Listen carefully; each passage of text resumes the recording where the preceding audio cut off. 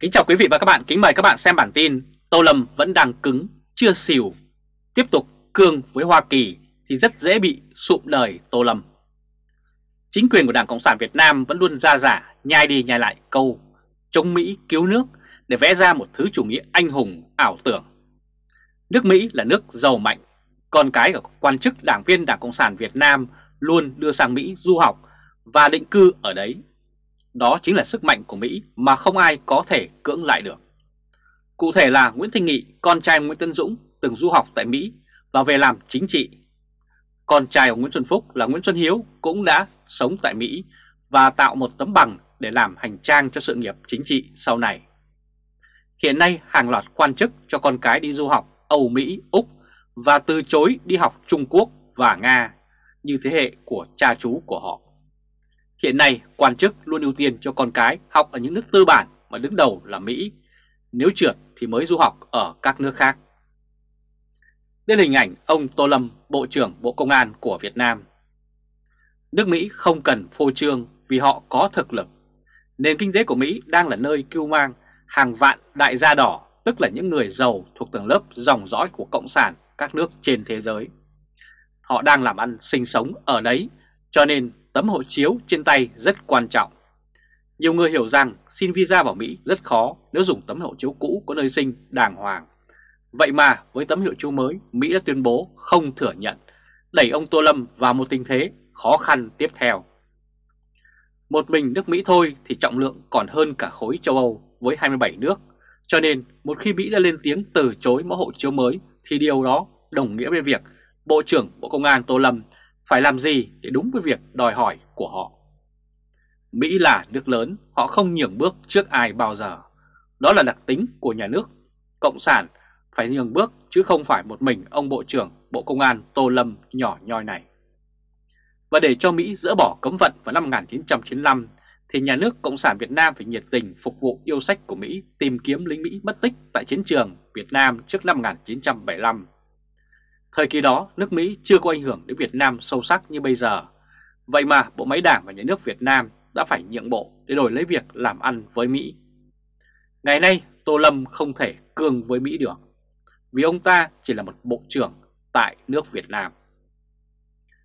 Đây là hình ảnh Mỹ đã lên tiếng về mẫu hộ chiếu mới không chấp nhận khi không có nơi sinh. Chuyện Bộ Công an thiết kế mẫu hộ chiếu mới không có thông tin về nơi sinh khiến rất nhiều nước châu Âu, Mỹ và có lẽ hầu hết các nước sẽ không chấp nhận cấp visa cho công dân Việt Nam mang hộ chiếu mới này. Ngay cả ông Thủ tướng Phạm Minh Chính đã phải yêu cầu Bộ Công an xử lý ngay vấn đề về việc xuất cảnh cho các công dân Việt Nam được thông suốt, không để ảnh hưởng xấu đến công việc của họ. Đáng lẽ Bộ Công an chỉ đơn giản là chân thành nhận lỗi và sửa chữa do lỗi kỹ thuật có đánh máy là xong. Còn nội bộ xử lý thế nào thì dân chẳng quan tâm nhưng từ cái sai không chịu nhận mình sai cho xong lại dẫn đến cái sai lớn hơn, đó là đem ghi chú vào hộ chiếu là bị chú ghi rằng theo đề nghị của người mang hộ chiếu, Cục Quản lý xuất nhập cảnh xác nhận nơi sinh của người mang hộ chiếu, đấy là cái sai của Bộ Công an. Nhưng ông Tô Lâm đã biến việc xin bị chú như là hình thức ban của Bộ Công an vậy.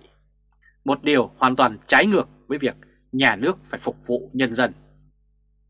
Đây là hình thức lấy cái sai che đậy cho cái sai và biến hành động cái sai như một kiểu ban ơn cho người dân Việt Nam đã tạo sự phẫn nộ từ Bắc đến Nam, từ trong ra ngoài. Việc này mang tính chất khôn vặt, tuy nhiên người dân không chấp thành việc đó. Việc quan chức nhất thời hiện nay là Mỹ đã lắc đầu với hộ chiếu mới của Việt Nam thì dân Việt Nam sang Mỹ sẽ khổ vô cùng, nhưng ông Tô Lâm vẫn chưa có động thái gì để sửa sai. Đây hình ảnh ông Nguyễn Phú Trọng cần phải can thiệp để ông Tô Lâm không hành dân vô hộ chiếu và gây mất hình ảnh của người Việt Nam trên thế giới. Ông Tô Lâm càng cương thì lỗi của ông càng lớn và mạng xã hội sẽ phải lên tiếng để ông Tổng Trọng nghe thấy và giải quyết. Đó là vấn đề mà ông Tô Lâm sẽ phải đối mặt nếu vẫn cương như những ngày vừa qua. Tờ Thời báo chấm đã từng phân tích và đánh giá Tô Lâm rất cứng đầu nhưng rất non về chính trị. Một lỗi nhỏ lẽ ra phải sửa cho xong, giờ để thành vấn đề rất lớn mang tính quốc tế và toàn cầu. Hãy chờ xem ông Tô Lâm cương được bao lâu. Kính chào quý vị và các bạn, kính mời các bạn xem bản tin Con trai út ông Nguyễn Tân Dũng chuẩn bị bước vào cuộc chiến. Như tờ Thể báo chấm đã đưa tin, Bí thư thứ nhất Trung ương đoàn Nguyễn Anh Tuấn đã được điều động làm Bí thư tỉnh Bắc Ninh. Hiện tại chiếc ghế đứng đầu Trung ương đoàn đang trống và hiện có hai ứng cử viên sáng giá để giành lấy chiếc ghế này. Đó là Nguyễn Bình Chiết, con trai của Nguyễn Tân Dũng và Bùi Quang Huy đang là bí thư thường trực. Hiện nay Bùi Quang Huy là người có quyền lực thứ nhì của Trung ương đoàn và là ủy viên dự khuyết Ban chấp hành Trung ương Đảng Cộng sản Việt Nam. Rất triển vọng để thay cho Nguyễn Anh Tuấn. Nguyễn Minh Chiết thì lại có lợi thế là con của ông cựu Thủ tướng Nguyễn Tân Dũng. Dù là quan chức về hưu nhưng nhiều người đánh giá ông Nguyễn Tân Dũng vẫn là người quyền lực nhất trong giới về hưu. Việc ông Nguyễn Tân Dũng dường như đã vận động được để đưa con trai cả về Trung ương nắm chức Bộ trưởng Bộ Xây dựng, thì ông cũng có thừa khả năng để vận động con trai út của ông chiếm vị trí cao nhất trong Trung ương đoàn Cộng sản Hồ Chí Minh. Đây là hình ảnh Nguyễn Minh Chiết, con trai út của ông Nguyễn Tấn Dũng. Hiện nay, ông Nguyễn Tấn Dũng vừa vận động hậu trường vừa sắp xếp cho con trai út làm hình ảnh truyền thông để lấy điểm. Không biết kết quả như thế nào, nhưng xem ra ông Nguyễn Tân Dũng làm rất bài bản. Sáng ngày 10 tháng 8 tại Đại hội đại biểu Thanh niên Cộng sản Hồ Chí Minh, tỉnh Bình Thuận khóa 13, nhiệm kỳ 2022-2027, ông Nguyễn Tân Dũng đã cho Nguyễn Minh Chiết đến dự để lấy hình ảnh truyền thông. Tại đây, Nguyễn Minh Chiết đã làm việc với tỉnh đoàn và có những phát biểu mà nhiều người cho là khá ấn tượng. Nguyễn Minh Chiết đã nói rằng khởi nghiệp sáng tạo sẽ tác động sâu sắc đến đoàn viên thanh niên.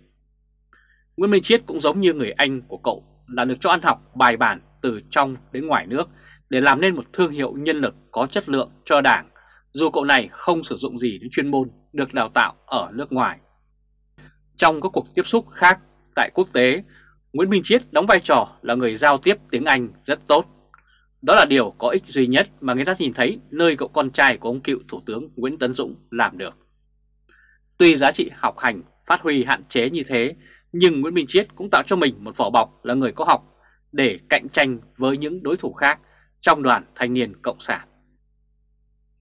Đây là hình ảnh chiến dịch của ông Nguyễn Minh Chiết. Hiện nay, Nguyễn Tân Dũng đang làm mọi cách để cậu con út vào Trung ương Đảng càng sớm càng tốt. Chỉ cần nhà có hai ủy viên Trung ương Đảng là ông Nguyễn Tân Dũng có thể an tâm. Thế nhưng việc đưa Nguyễn Minh Chiết nắm chiếc ghế bí thư thứ nhất Trung ương đoàn không phải là điều dễ dàng. Vì cũng cần phải có sự may mắn thì mới được vì bản thân Nguyễn Minh Chiết còn khá trẻ và mức độ thâm niên thua xa các ứng viên khác. danh ghế chưa bao giờ là dễ dàng cả, ngoài năng lực người cha thì người con cũng cần phải thể hiện được đặc điểm gì đó để người ta có thể cất nhắc. Chứ nếu bất tài như ông Quốc Tuấn, con trai ông Nông Đức Mạnh thì có đưa lên cao cũng sẽ bị đạp xuống khi mà người cha không còn khả năng che chở. Nguyễn Thanh Nghị đã thể hiện là một người có năng lực, tuy nhiên Nguyễn Minh Chiết cũng chỉ là ẩn số. Tại Trung ương đoàn, hầu hết các hạt giống đỏ tại đây đều là những phong trào vô bổ từ trong nước mà ra, không hề có việc gì để thử thách để thể hiện bản thân cả. Đấy là điều mà nhiều người đã đặt câu hỏi về năng lực của những người như vậy. Ông Nguyễn Tân Dũng hiện nay có tiếng nói rất mạnh ở Trung ương, nhưng đó là bên chính phủ, còn bên đảng thì ông Dũng không được mạnh cho lắm. tuy việc tiến thân của Nguyễn Minh Chiết vất vả hơn Nguyễn Thành Nghị rất nhiều. Đây là hình ảnh dường như ông Nguyễn Tân Dũng đang vận động cho cậu con trai. Hiện nay đang có cuộc chiến cam go trong chiếc ghế bí thư thứ nhất Trung ương đoàn. Có lẽ ông Nguyễn Tân Dũng cần phải dạy có con trai nên chiến như thế nào hơn là chiến thay nó. Đặc biệt là chiêu dùng tiền gây ảnh hưởng thì ông Nguyễn Tân Dũng là một kẻ cử khôi. Không biết ông có hướng dẫn con trai của ông như thế hay không.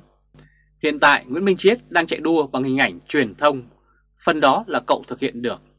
Việc vận động hậu trường chắc chắn là có những khó khăn riêng của nó và liệu Nguyễn Minh Chiết có cùng cha cậu làm được điều đó hay không thì còn phải đợi thêm câu trả lời.